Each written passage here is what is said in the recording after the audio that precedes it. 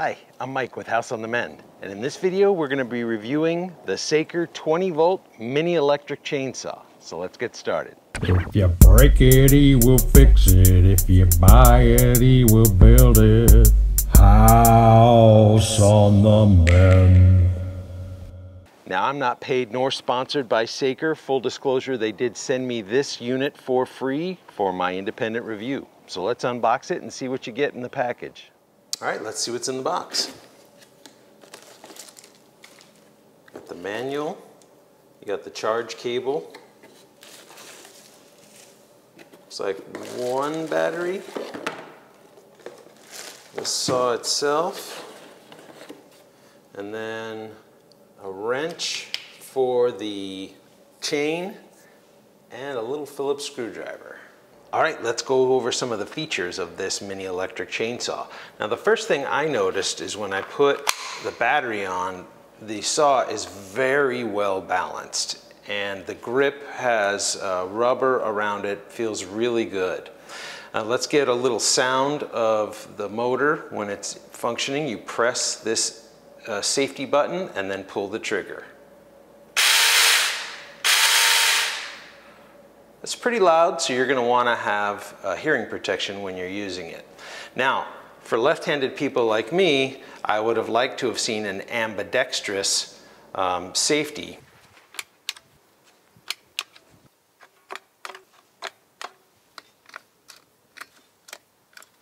But the safety button on here is shallow enough that you can either push it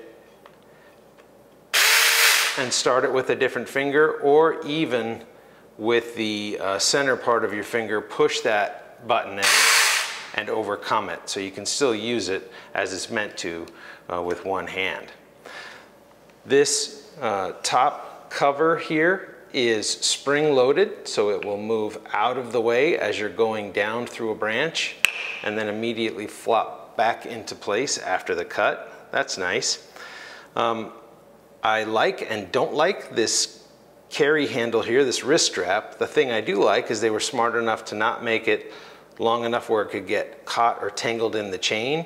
However, it really is so small that my hand just barely makes it through and absolutely would not if I was wearing gloves. So to use this wrist strap, I have to put my hand through and then I'll have to don my gloves.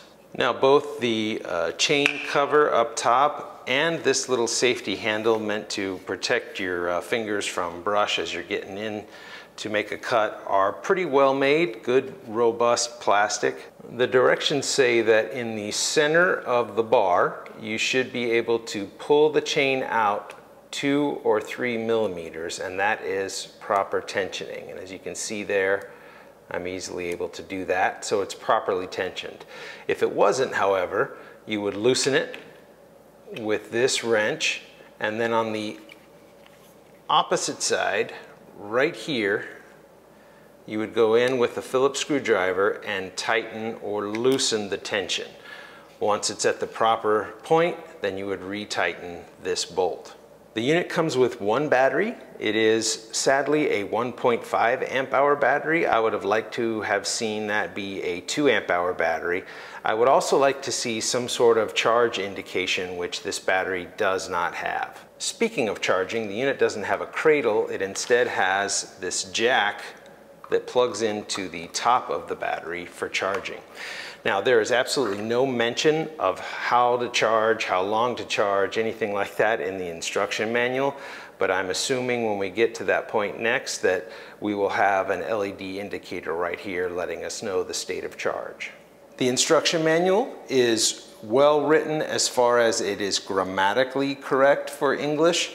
Uh, there are a lot of superfluous uh, safety warnings on here that don't apply to this particular chainsaw uh, such as always carry it by the front carry handle, which this little guy does not have. So it's clear they cut and pasted some uh, safety warnings on here that don't even apply to this saw. And I would have liked to have seen that uh, be a little bit better thought out and edited. A couple takeaways that do apply is that they do not want you to cut anything more than a four inch branch and they warn you not to over press down and stress the saw when making a cut. Now with the unit turned over this way, we can get a proper reading with my tape measure.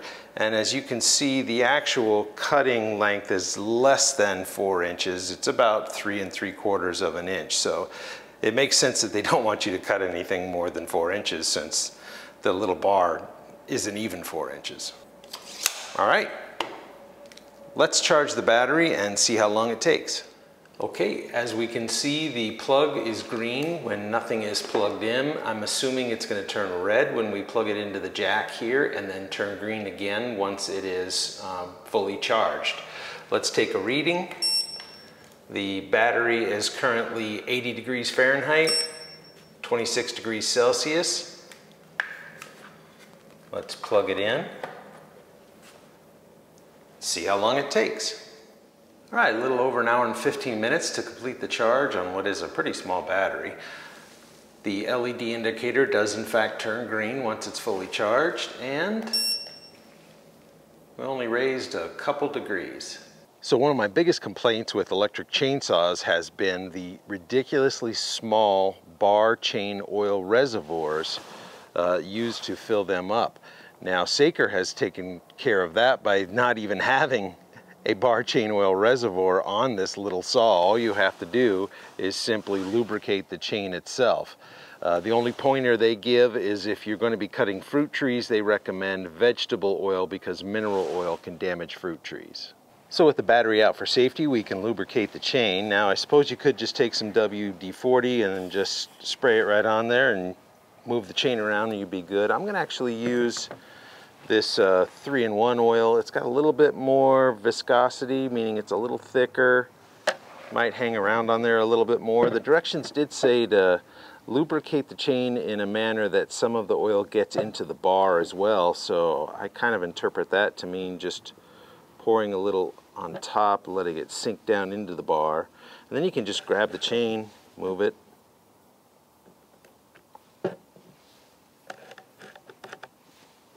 And it's so small you only have to do it a few times.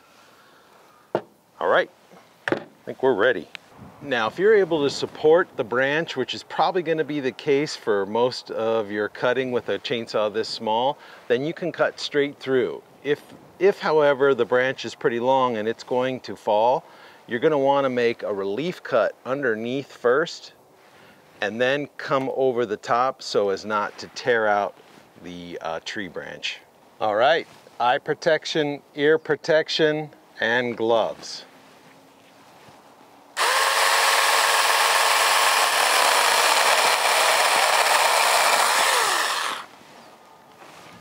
Oh, this soft pine is nothing for this little saw.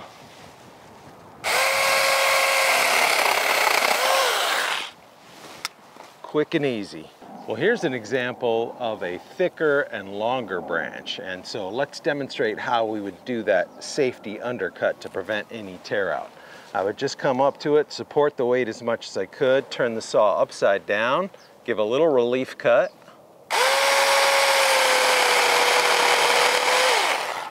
And now I can come up over the top.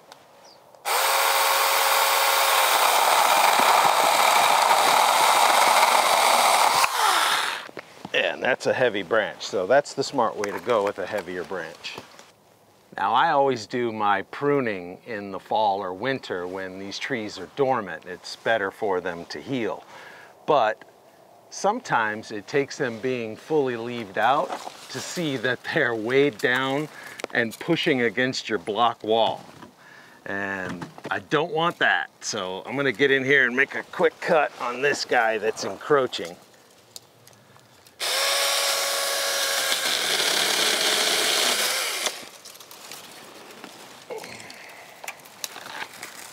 much better.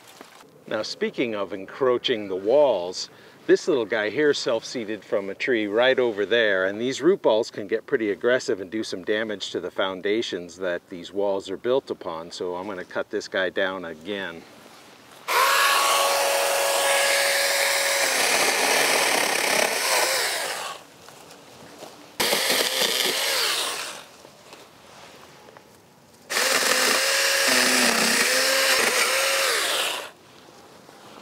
Think I'm gonna have to dig out this stump or burn it because it keeps growing back. Well, I just had to switch out the battery on that camera, but not this little chainsaw, it's still going. All right, here's another example of a tree. I love this green ash tree in our backyard. And I prune it pretty regularly so that I can walk underneath it. I'm six feet tall, but when it gets fully leaved up, it gets weighted down and now it's an obstruction. So time to make a quick little cut right here. Now this guy, I think I can support, so no relief cut. I'm just gonna get in here and do it real quick.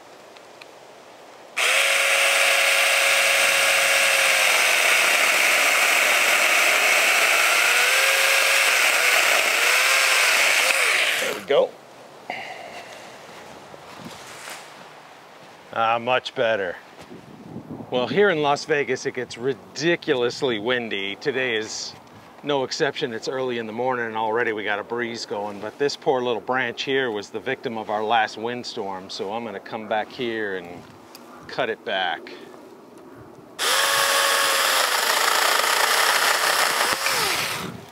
There we go.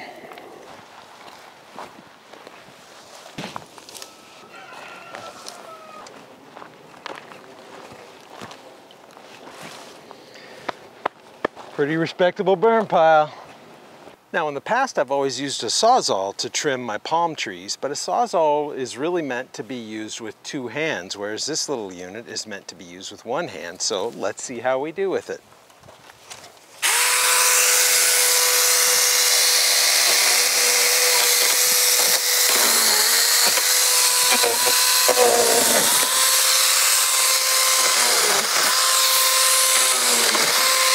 Well, you definitely want to approach it the opposite direction so that the, uh, the motor here is facing on the outside. That'll, otherwise it obstructs your ability to cut. That's better. So as you'd expect, it had absolutely no problem trimming up this little palm tree.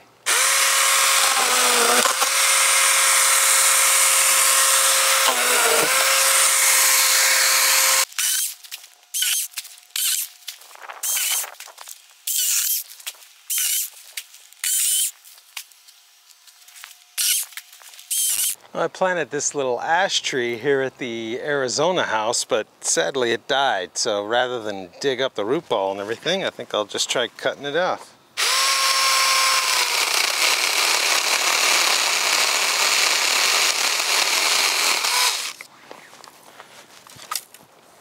Easy. This is African sumac, an extremely hard wood. Check out this video link if you want to see how much the Black & Decker and Ryobi electric chainsaws struggled to cut this wood. This is going to be a good cage match style test on how this little saw cuts through hard woods.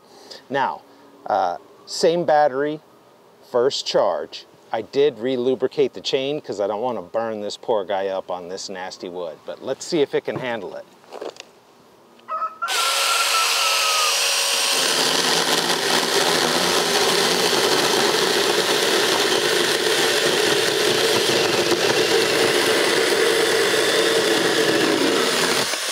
Wow, you heard it struggling, but it made it through. That is impressive. Well, I haven't had to clean this chain guard out even once. The closest thing to any debris being stuck in there is this little bit of wood. Well, we just weren't able to wear this little battery out, but let's see how long it takes to recharge after a full day's cutting. Well, only 40 minutes. That's half the time of the original charge. Absolutely no change in temperature. Well, that's my review of this little Saker Mini electric chainsaw, and I'll tell you, I am very impressed. A full day's cutting at two different houses, all on one battery charge. So the build quality, battery life, and the power are all exceptional, and due to that, I would have absolutely no reservations recommending it to you for home use. So if you found this video helpful, will you please give it a thumbs up? It really helps the algorithms to start suggesting it to more viewers like you. Also, please consider subscribing. I work really hard to put out good quality content and there's more videos to come. I'm gonna leave a link to this saw in the description below. Full disclosure, that's an Amazon affiliate link. So if you click on it and end up making a purchase, it won't cost you a thing, but I do get a small reward at the end of the month that helps to justify the time and money it takes to set up and do these videos. Until next time, thank you for watching. Now, just because he's really small, I'm not going to tolerate any bullying of the new guy.